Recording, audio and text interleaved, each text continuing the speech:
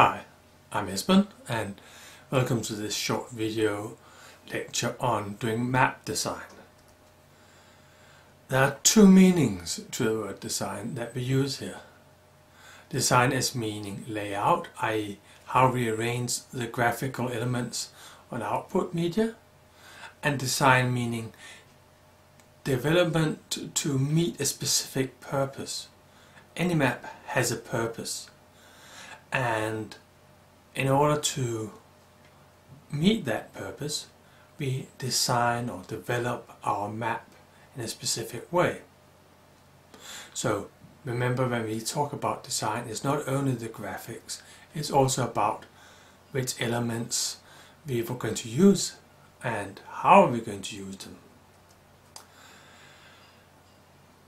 When we talk about purposes of the map um, for a specific purpose.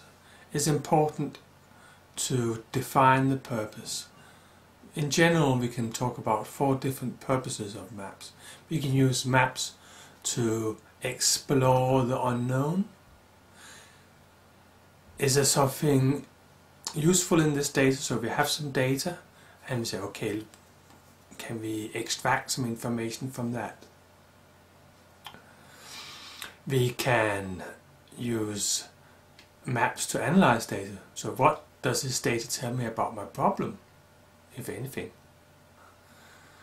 We can use maps to synthesize knowledge, that is to bring different elements together so that we can compare them and see, hmm, is there some uh, relationship between cholera and polluted water? And finally, we can use maps to present information, support a claim, um, this is how it is, or perhaps to start a discussion. I, uh, is this what uh, how it could be, or what should we do about this?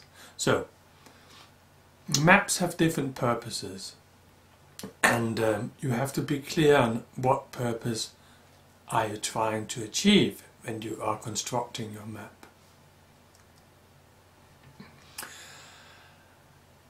It's not always that map is the answer to any question. Sometimes maps are a good tool to use, other times we should perhaps do something else. I'll try to list some uh, arguments for and against using a map. The obvious one is that everything happens somewhere and maps are very good at showing where. Maps are often the only way of visualizing spatial patterns in statistical tables. It can be really difficult to see patterns, spatial patterns in tabular data. Maps are often good for investigating unknown relations. Because if there is a relation between different factors they will probably be occurring if not exactly at the same location then at related locations. So the fact that things fall together spatially are similar probably indicates that there is some form of, of relationship between them Maps, like other graphical visualizations, use, you might say universal, but at least semi-universal language that is understood by a large audience. If this uh, so we can reach many people with the same product. And finally, maps are often engaging. There's a, ah, look, hmm, didn't I go to holiday there? Or don't I know someone who lives there? Or I've heard of that place before. So there's lots of things that can engage the reader from the map. And that is basically the start of making people work with information, that is engaging them. There's also reasons why not to use a map. Basically when you do any visualizations the x and y axis are the most important, most dominant aspects of communication, where things are located on the x and y axis. means much more than how large the dot is or the color or something like it. And that x and y axis has been occupied by the physical space. So we can't use it for anything else than location. Maps has also a disadvantage that it's difficult to keep location secret on a map. A dot is a dot and oh that's where that dot is. So if it's some protected plant or something like that, hmm, maps might not necessarily be the perfect solution.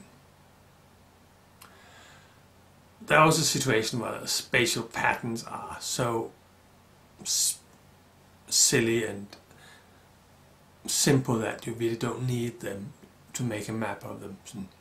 People live in big, in the major cities, yeah, okay. We don't have to make a map to tell you that. Um, and finally, your map making skills or the time resources or money resources you have available, test is not enough to make that map that can be useful in the situation. Sometimes you just say, okay, yeah, it would be nice to make a map here, but we ain't got the time and we ain't got the money. So, there are situations where maps are not the right tool, or the real tool to use. So, there are other things we have to consider. If we decide to go for a map, we have to consider mm, which context is this map going to be used in. Is it going to be a page in a document, a project work, um, an appendix in some general publication, used in a slide presentation? Is it going to be a standalone product, a big poster hanging somewhere where, we, where it has to tell its story by itself? Depending on these contexts, the map has to be able to tell more or less its own story. If it's in a big document, well, there'll be pages surrounding it telling what the map is about. If it's alone, as a poster, it has to do all the explanation by itself. The media that the map is going to be displayed on also has importance. Is it a map for a PC screen, a projector, mobile device, print or web? Each of these different medias have different demands on colors and detail and some of them are even interactive so people can start zooming and roaming around in the map. So the media will play a crucial role to how you decide on your map. And finally, you should always consider your audience. What is their cultural background, educational? Do they have specific knowledges that they might lack or that they can use in understanding the map? So think about who is this map for? Can they read it? A uh, common situation is that when we're doing maps we can use things like uh, semi-variance or use things like uh, standard deviations. Well, most scientists know what this is, but quite a lot of normal people do not. And if your map says, okay, this is the mean plus minus one standard deviation, well, you might lose quite a lot of your audience if it is for a broader audience. So think about it, what they know, what they don't know. When we start talking about how we're going to design the graphics of a map, we have two key elements to talk about. We have the data frame, that's where we have visualized our data and then we have the marginalia. That's all the things that are around it. That's called why it's called marginalia because it is in the margins. Things like scale bars and legends and things like that. They're all part of the marginalia. They are part of the final map. They are crucial to the design of the map, but they are not part of this data frame. So you have to think about them, how you can use them. Um, There might also be things that you have to have on it, such as copyright or information about the source of the, the data, things like that, that might be good to have or things that you just have to have. A quick look at a classic example from a study book. This is a traditional topographical map. I'll just use it to talk about what elements are on a map and then so we have the names for them. First of all, we'll have a title. It's usually um, something that draws attention. It should have a dominant size. It should serve as a focus. So we say, okay, here, this is where we start it will give the reader the first idea of what the map is about.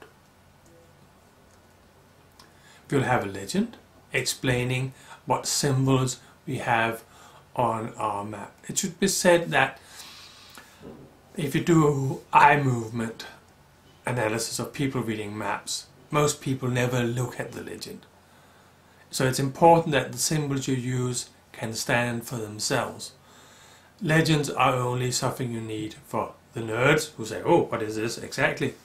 Or for the, if you have a complex situation where you can't make self-explanatory symbols.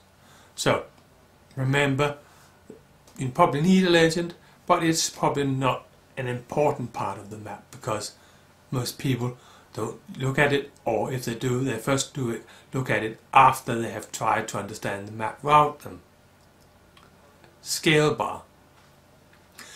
On a topographical map like this, yeah, scale bars are important and um, and scale bars must be there. Um, scale can be given in different fashions that you should be aware of. Um, we have first we have the scale given as the ratio 1 to this case 1.5 million. So that is the scale of the map. So one centimeter is one and a half million centimeters in reality. So that's one way of doing it. There's also a scale bar that you can use. In general, the scale as a numerical value is useful for experts. We know what to expect when we see a specific map scale but it's not normally the starting point for a new map reader. For new map readers, scale bars are much more efficient, so they much easier can relate to them. Also, they are, of course, easier if you're going to do measurements on your map, then they are the thing to use. Note also that if your map is going to be on the web or on a screen or on a projector, you can't be sure that this scale will hold true. It depends on how the physical hardware is configured. And once you've made your map and made a image or PDF document from it, this is locked into the text and can't be changed. So if the map scale changed due to projections or rescaling of any kind, then this will be wrong. Scale bars, on the other hand, they stay true because they are scaled up and scaled down together with the map. So they are useful in media where you not got the full control of the print situation. While the scale bar is a bit more dangerous, but for professional market users that's a very important element. If you look at these scale bars, there's one both in miles and kilometers. We normally don't use miles on Danish maps, we only use the kilometers map. But note that zero is not at the bottom.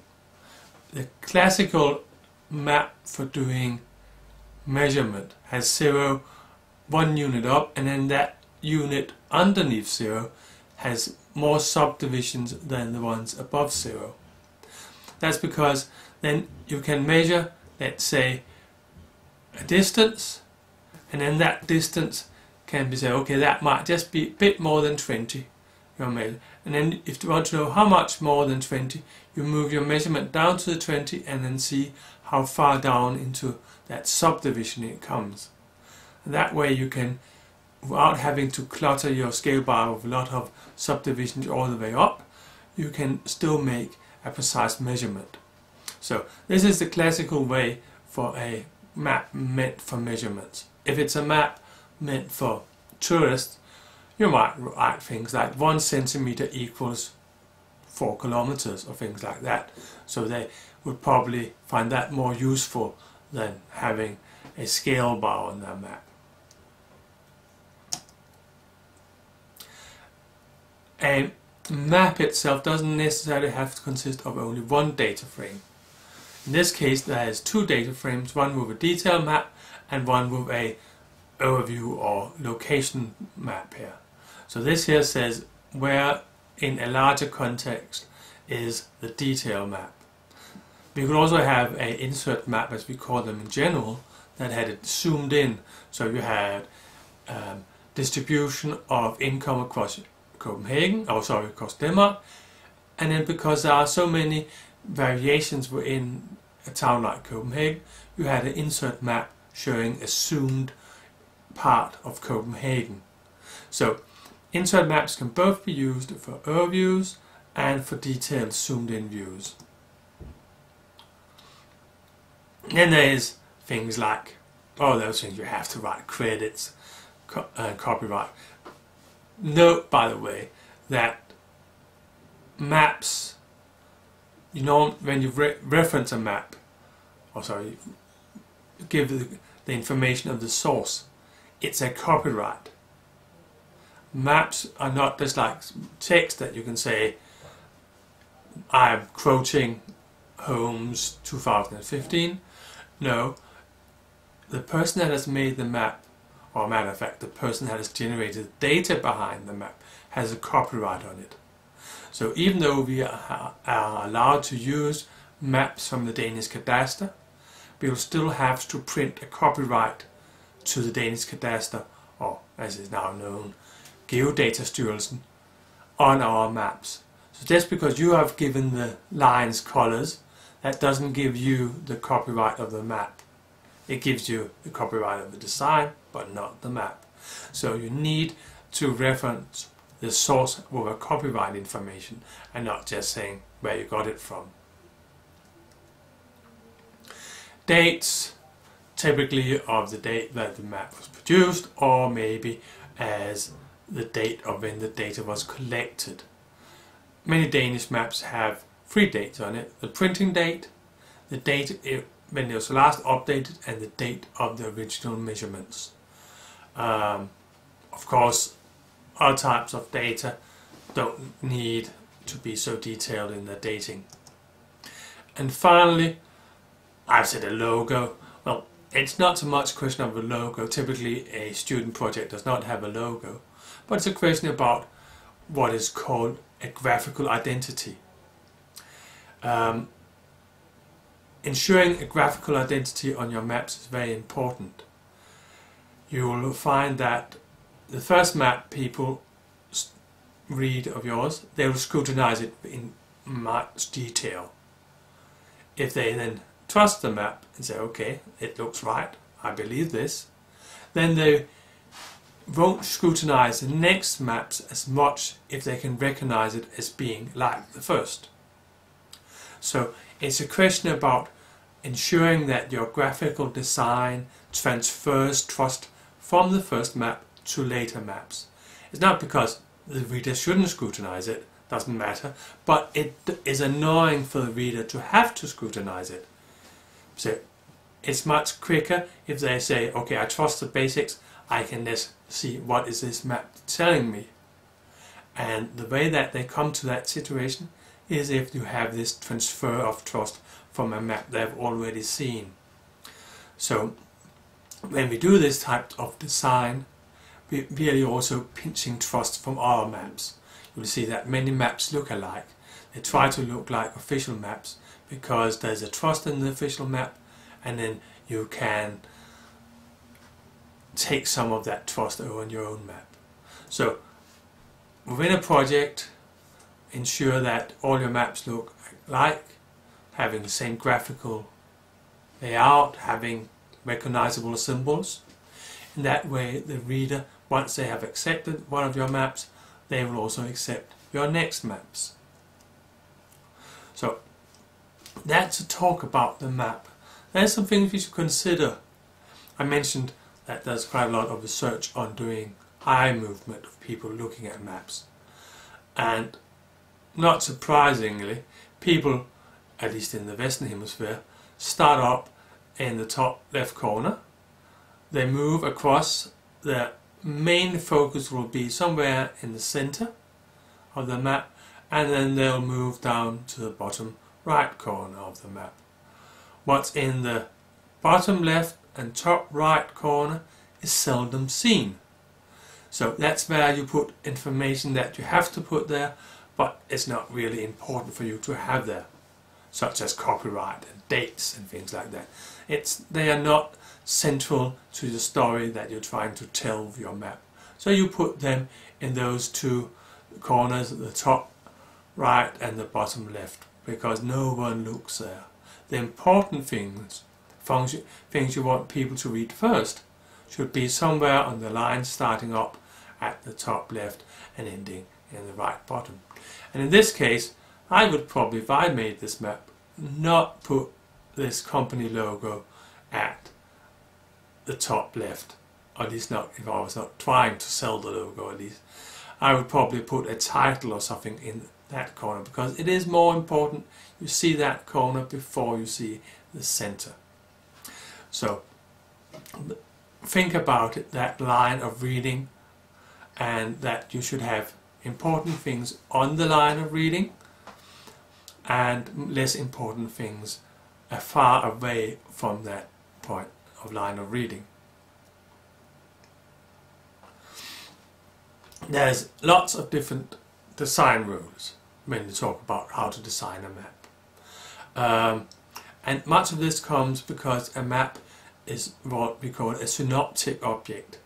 Synoptic, syn means at the same, optics see, so something that you see at the same time, meaning that you don't start like a text and then read down through it. You see, you can jump around your eyes, even though they have this line of viewing, we don't know that the reader will follow it.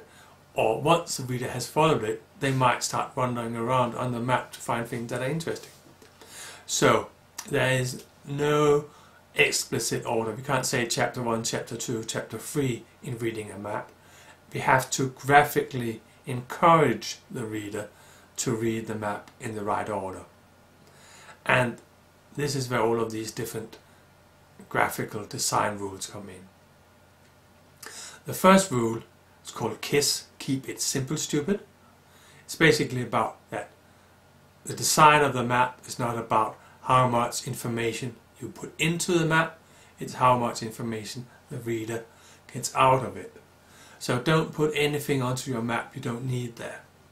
Or at least don't put it if it doesn't have a graphical function. You might put things that are not necessarily for the story of the map, but you just put them in because there's an empty space.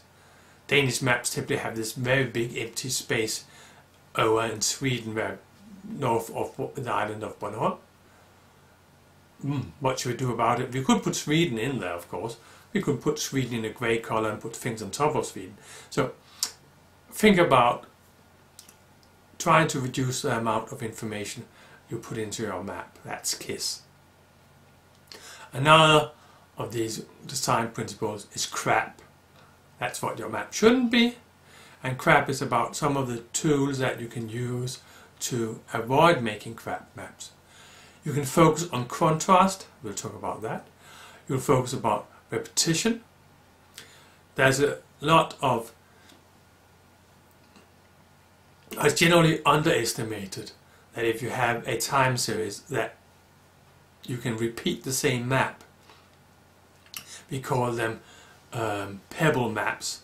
A series of small maps next to each other are showing different time periods or showing different properties over the same area.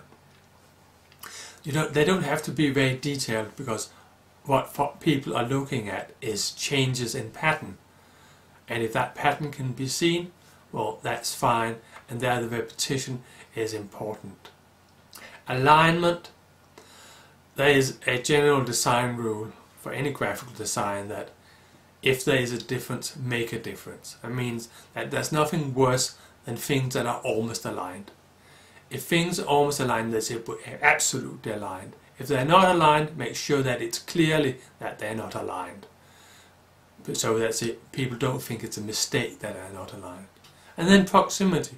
Put things that belong together graphically together. Um, we can't typically move so much around the map, but we can, some of those marginalia, think about the role, role of proximity. Personally, I normally follow what I have decided to call Couch B. I have reordered the lettering um, of these important things from a general text about map design and found out that all of those had not good names like Kiss and Crap and the best I could get come up with was Couch B and I'll in the following I'll talk through each of these elements of the couch clarity, order, unity, contrast, harmony and balance and how we can implement these in QGIS. Clarity is basically the same as KISS. You want your map to be clear, you want the information to stand out. So you try to avoid to put things in that shouldn't be there. You try to ensure that symbols and colors are clear and easy to distinguish. You probably noticed when you're watching this video that I sometimes uh, trying to focus my eyes because I'm not haven't got the best eyesight in the world and there are many people like me that need clear symbols and clear colors to read the map. So think about ensuring that the map is readable. Try increasing the distance of the map to the double of the distance that you expect to look at it and see is it still readable. If it is, then you probably got your clarity right.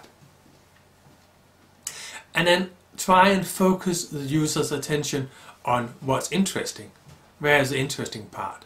Try and remove the less important things. Of course, we might need to have some context there, but try and focus on what's important, the regions that are important.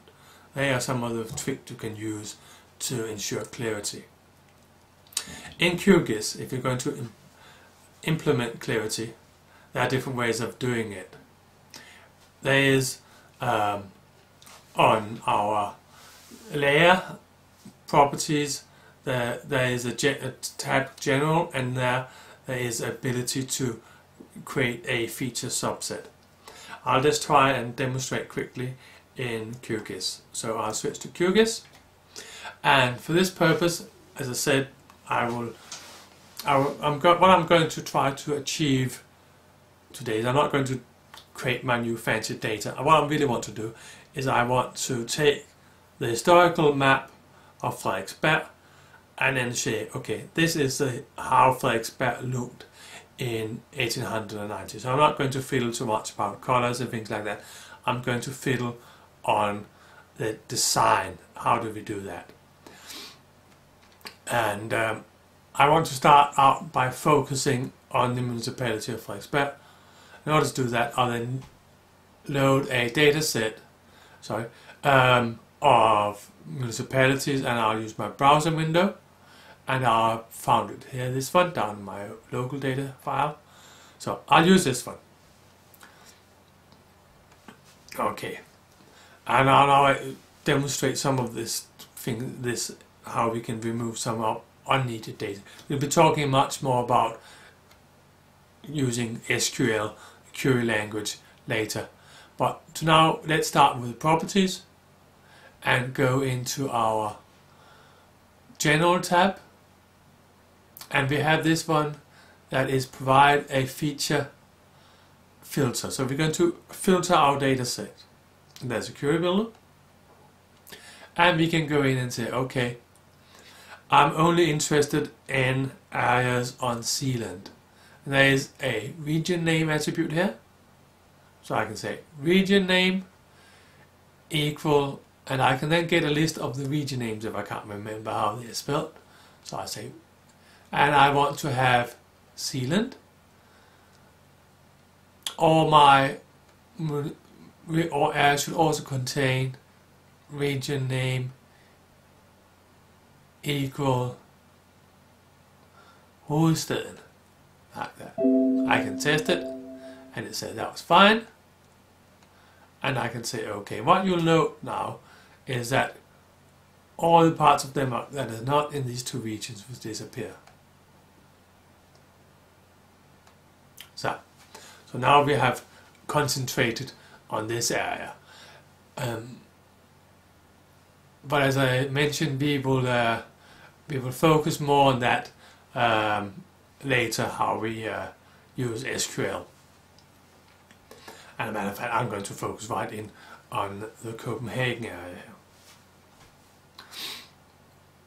The next thing I could do is that I wanted to focus on Frederiksberg. So I want my make sure that this area is the important part. But this is not the data I'm going to show. I'm just going to use it to mask away what I don't want. So people look here in this area. What I can do there is I can go in again and look at my properties and this filter here and say okay these are the areas that I wanted and I'll just because when start using more advanced SQL brackets are important so I'll say these brackets so they have to be one and the municipality name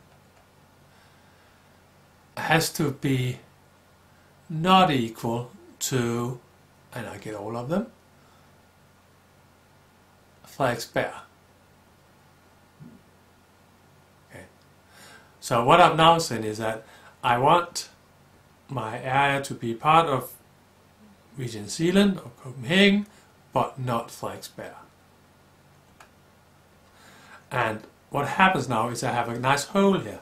Frederiksberg has been removed from my dataset.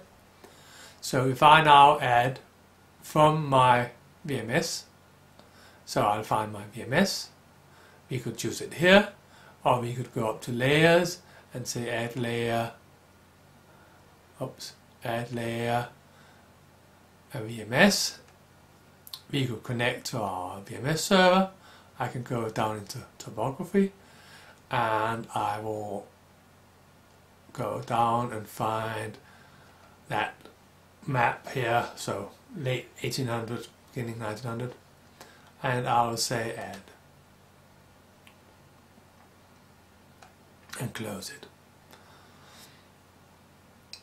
So it's now connecting to my server and hopefully it doesn't take too long time for it to generate. So, okay, so now I've got this on top of that one. What I wanted is I wanted to bring that underneath.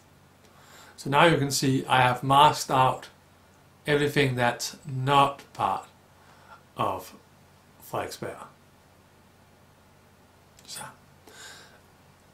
Of course this is now a silly color for this purpose. So I'll uh, start by changing the style of it. So I'll make it uh, a white color.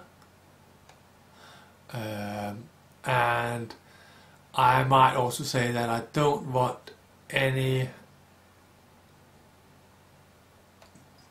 borderline around them. So now I've got a relatively clear masking that says, okay, this is Frederiksberg. That's one way of reducing our data sets. Um,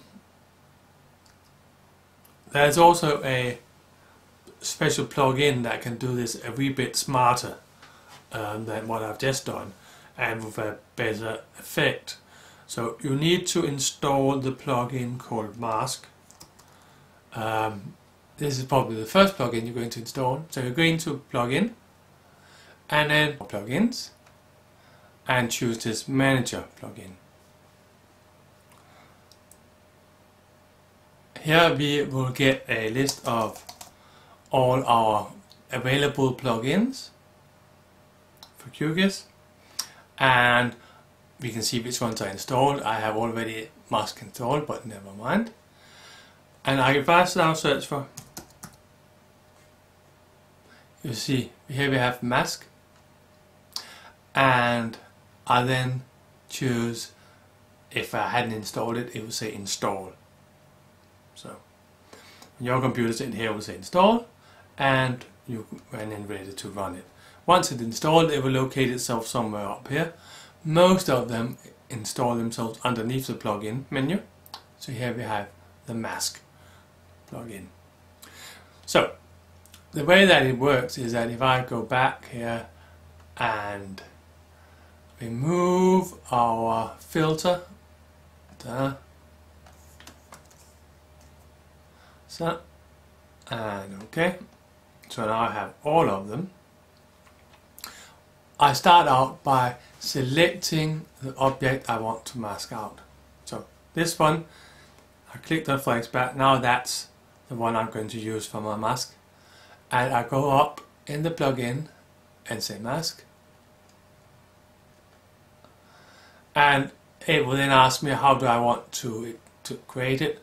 Um, I just leave it with the default values and then we can change them afterwards. So okay, it will run.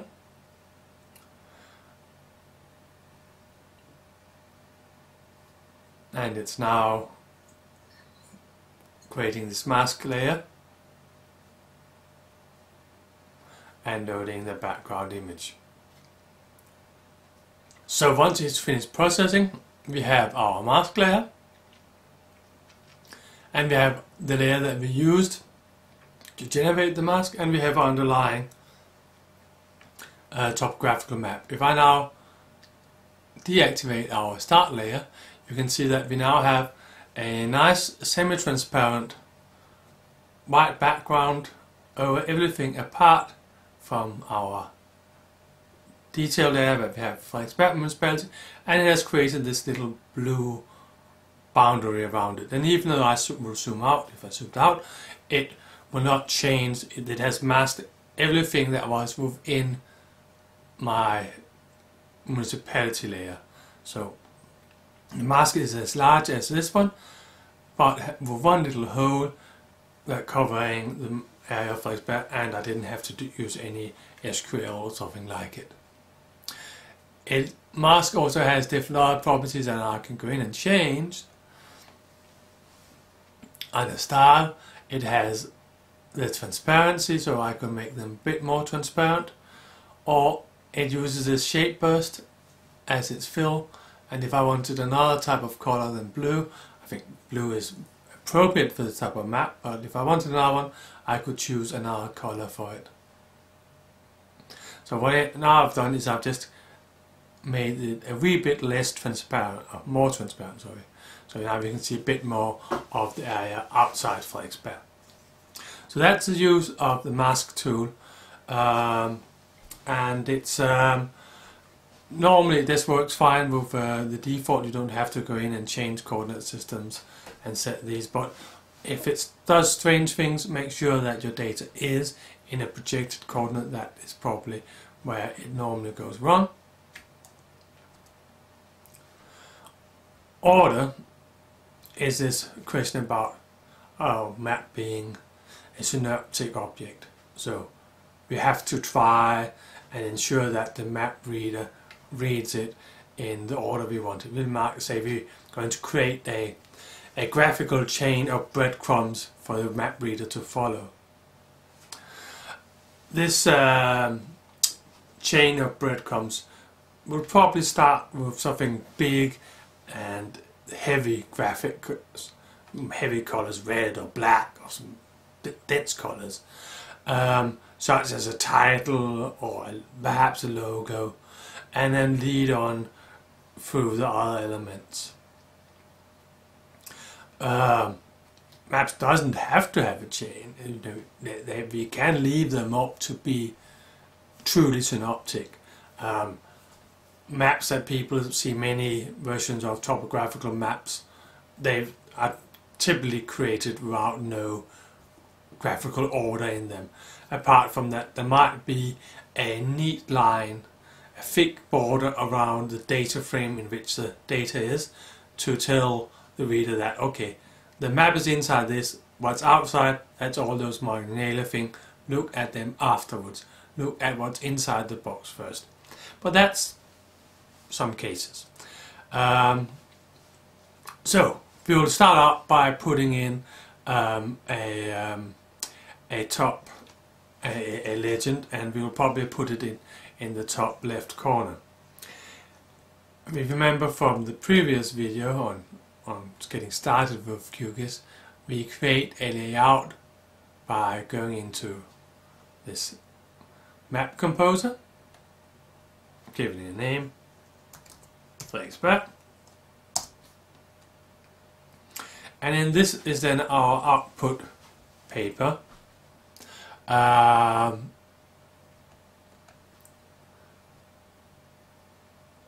it is a A4 paper, we can see over here. Um, and we could change it to a different data format if we want to, to print it out in A3 or something like it, we can change that there. We'll leave it as an A4. Then we start by inserting the map frame, that's this tool here. And we'll insert a map frame, something like this.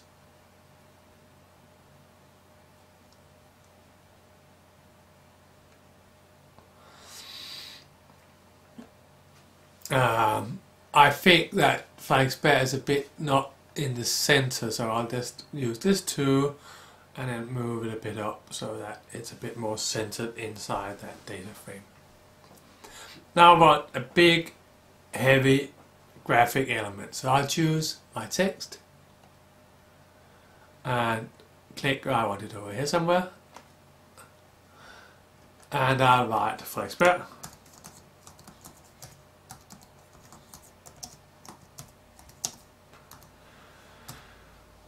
Let's say 1885. It's somewhere around 86. It's somewhere around there. Um, which font should I use? Well, I want something big and beefy. Uh, and I would probably want it in a bold also.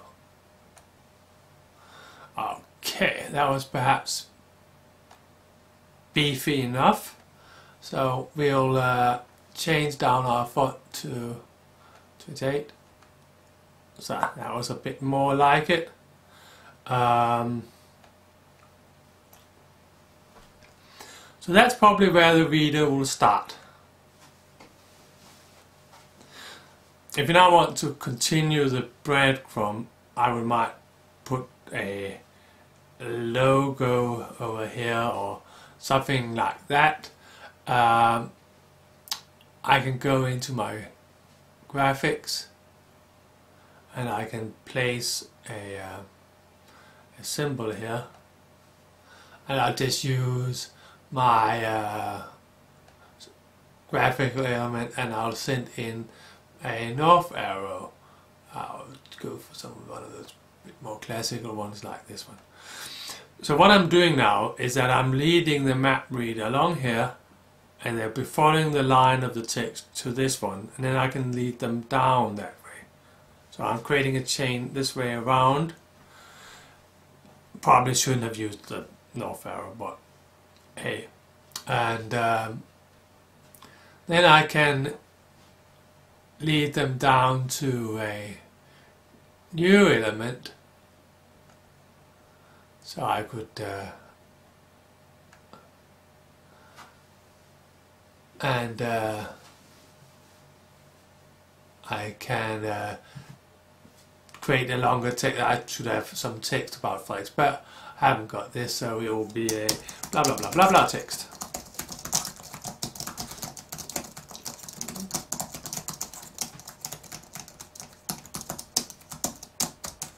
And something like that. So now I have hopefully ensured that the map reader will read this text at some point things that I then don't need to be part of uh, my chain such as my scale bar. I will uh, dump it down here. Uh, doesn't look very neat like this. Um, I think I will change it to uh, what does it say? Kilometers to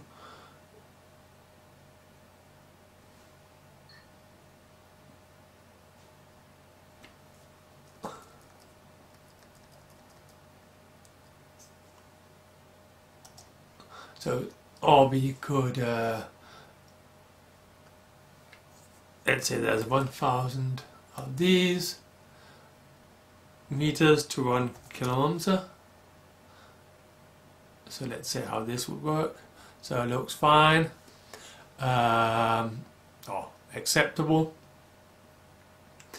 We could um, work, insert the another scale underneath it.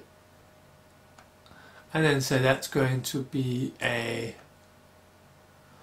numerical scale. So this map is at the moment in a scale of 1 to 52,270 that's not really a nice scale. So I will um, change the scale by using my item selector. Select this one. See it's got the scale up here. And say it's going to be 1 to 50,000 that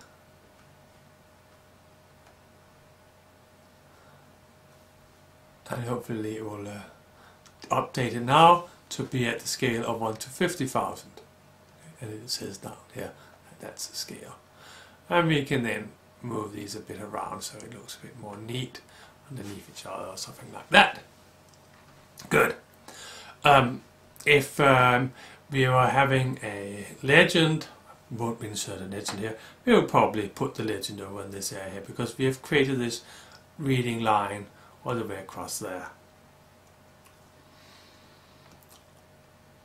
So that's um, something about implementing order. Unity is a question about that you don't want your map to tell contrasting stories. You want the map to tell one story and the same story. So when you think about your graphical elements, your design, all the things you do, um, lettering, um, you should think in a theme. Say, okay, what type of map am I producing? Am I trying to produce a historical looking map or a modern map? Am I trying to give my map some scientific error? Or should I try and make it look a bit casual and, and this is a map you can do something about? And you might say, well, what does that, how can we implement these things um, in our map? Well, basically there's something about some of the things we can change are the symbols. Which type of symbols are we using? I'm not using very many symbols in this one, and not any at all. But we can choose from our symbol library, we'll talk about that later in the course, some symbols that are within my story and my north arrow you saw different choices of north arrow. I could have chosen a more contemporary looking north arrow, but that would be against my um, my my line of story. The font, there's basically two types of fonts you might know of. There's what's called serif fonts and sans serif. Sans serif, of course, means no serifs. The serifs is those small things that are at the end of the letters. This one up here is a sans serif. There's no serifs on this text.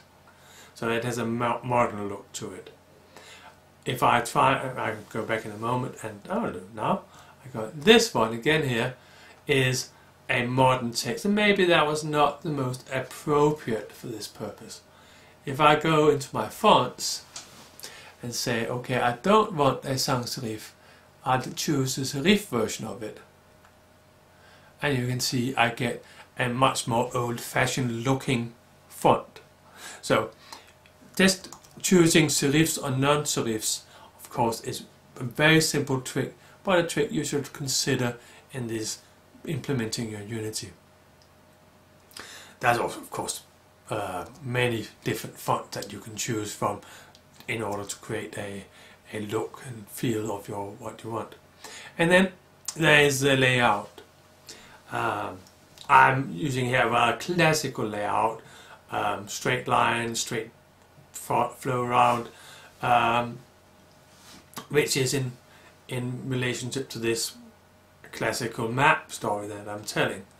If I had started to do things like uh, let this uh, north arrow half overlap the map. Well, I'm breaking that story. I'm then being moving into the realm of modern map design. So in this case, I won't do that, but of course I could have chosen to do that in order to change the feel or the unity of my map. Contrast Contrast is a thing about ensuring what is at the top and what is at the bottom. Generally, humans see white as a bottom layer and the more dense the color is, the higher up it is. So we might first see the goblet in this case and then afterwards see the two faces because they are the background, they are the white element. So when we're doing this type of map design, in this case I'm doing a very simple one, we ensure that we shouldn't put too much darkness. If I made this a dark mask around it, so it was darker than in the inside, then that would start to look as the front. And well, I expect, which is my key area here, would look as a background. So I'm ensuring that the surroundings look lighter than my key area. And also I'm using this dark edge that is emphasizing Frederiksberg and does that by minutely making it the contrast to the surroundings less. So it has a dark edge on the inside towards the area that we're trying to create focus on and the fuzzy edge on the outside away from the focus area. So if we won't get so much focus on this, but we'll get focus on the line where the contrast between the dark blue and the area of no mask is highest. So we'll work with contrast in different ways. We think of it as our color space, we ensure that we have light colors and we don't, it's very important, you'll often see that the first maps people make they put use two dense colors very quickly and they run out of color space. So you have to be economic with your color space. That's why sea and land are douche colors. So a light baby blue and a, just a wee off-white color for landmass. That's because we are trying to conserve color space. So we've got more color space to put layers on top. So don't start with making landmass dense green, seas, dark blue, because then you have used up most of your color space. Um, we showed here the use of our uh, mask as a way of doing it. That in general the same tool that is implemented in the mask can be also used, um, at, namely this that's called shape burst. Shape burst.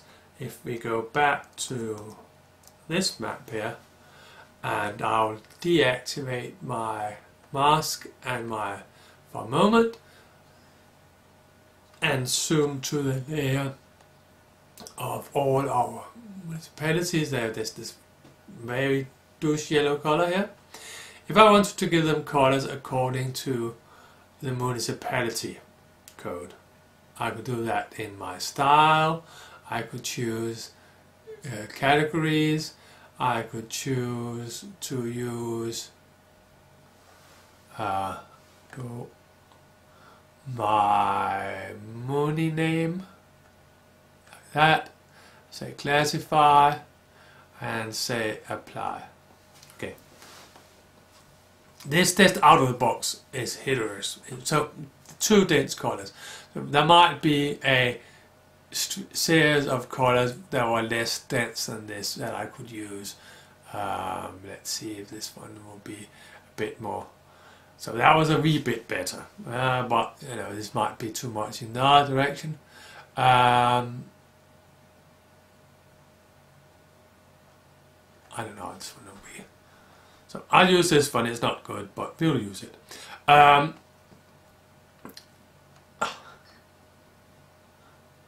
Go back that one. Oops, sorry. um, different default colors. They're not um, they're really good. Uh, but what we can do to reduce the amount of color available and therefore leaves room for have motor roads and other things on top of these municipalities is to use this sunburst tool, shape burst tool. Um, so I go to properties and at the moment we are using a simple color. If I change my fill from a simple color to this shape burst, um, and something like that, what you can see now is that it has make sure that we have dense colors on our boundaries and less dense in the center. So we are reducing the amount of color used in our map. I'm not saying this is a nice coloring um, but it has solved the problem of having used too much color space because I get quite a lot of areas inside the centers of the municipalities where I don't have so much color. And how much I got there I can control that in my uh, my um, my tool uh, my shape burst tool. So uh, I have my shape burst tool and I can then choose um, how quickly it should um, reduce its uh, coloring so shade to a set distance and then be it either in millimeters on the output or in map units. So I say, okay, I want each of these to be uh, 5 kilometers. So let's say 5 map units. The meter is the map unit. So in this case I've then reduced the area that I'm using so I've got a larger area with less density in it. So thinking about contrast I have ensured that I have a relatively sharp high contrast on the edge and I have reduced without having to have this um, using my color space too much. So Shape Burst is a good tool although it does make perhaps look a wee bit fun but it can solve some problems. You'll also see if you look at classical atlas maps you'll also see the use of the shape burst. Harmony tries to address the relationship between our different maps. Um, looking at if no map should be disproportionately large or disproportionately heavy in its weight or coloring. So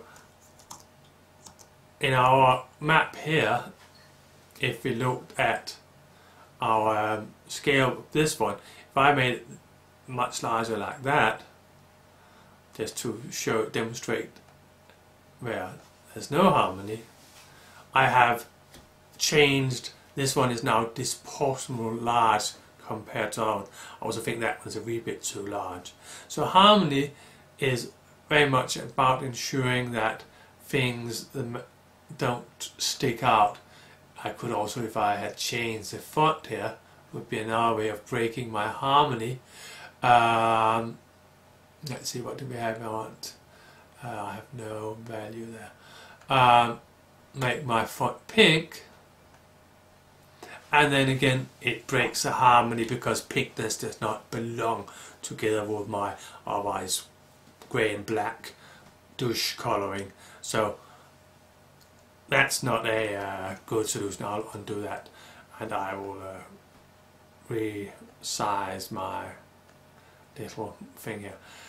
By the way, note that it has not updated the map from before. If I press update, it will do that. But uh, I'll try and reconstruct my map from before over here. So I'll get a bit of that one. I'll activate mask and I'll activate my background and I will zoom in on my area in Frederiksberg like that. So I think that it will now, uh, I won't risk that it will distort this one too much. It has a scale lock on it. I entered this one to 50,000 so it even though it's not exactly the same it will probably stay more or less the same. Balance. Balance is how we use the paper. Um, in general things normally balance about the center of mass and we don't like our maps not to do that. We like our maps to center on the center of mass. Here center of mass is generated by graphic elements, then how heavy are things, how much black, how much heavy colors do we have around. And also we want to think, use the have the important part of our map close to the center. Um, it, the strange thing is that the center is not the visual center of a map is not the same as the physical center. It's around 5% higher. So when we talked about this map reading line, what we go is if we go from the top corner and then to this optical center, and then from there we go down to our bottom corner. And, and therefore you will find that the classical map has marginalia at the bottom, because then we can lift the data frame higher up so that the data frame would be at the center of our physical paper here. So if we look at this one, you can see that I have here left more space beneath my frame than above the frame in order to lift my map up. We might say that, well, while this map line here constructed a bad breadcrumb, it was not good in that this map at the moment has a graphics that is out of balance. Um, we only have one graphical element here at the bottom in one side. Um, in order to redo that, I might consider uh, swapping those two or bringing this down here like this. So I've got some more graphics down here, but still that one's a wee bit too heavy up there. So I might consider taking this one down to somewhere like that and then bringing this up to a line like that. Ah, maybe it should align with this ticked up instead. Like that. Mm -hmm. Difficult to say. We'll leave it there. Um, so now I have ensured that I've got two heavy graphical elements at the bottom of my map design, ensuring that this map won't fall over. Okay. So I put something heavy at the bottom and not at the top because that gives my map a good balance. I should also make sure that they are evenly distributed. I have a wee bit of the problem because the main part of my map is over in this corner but there's a good reason for that that we'll come to in a short while. Um, so, implementing balance, um, moving things around. Um, basically, the first rule of creating a map is to ensure that the largest amount of space is allocated to the important part. So this one here, you start by allocating as much as possible to that. Maybe I could have allocated a wee bit more. Oh, then um, you you use other things um, in the rule of couch, so you try not to break any of the rules, and um, you might need to insert extra graphics. Um, we could go out and find the logo of Frederiksberg Municipality and place it down here in order to get a wee bit more density down at the bottom of our map. So we can use odds and ends. Um, might find a historical photograph or something like it to insert in order to create our balance. The last thing I'm going to mention is how do we practical make maps for project works. Most project reports are printed on A4 and um, we, you'll soon find out that we often want to have A3 for our maps because we need lots of space.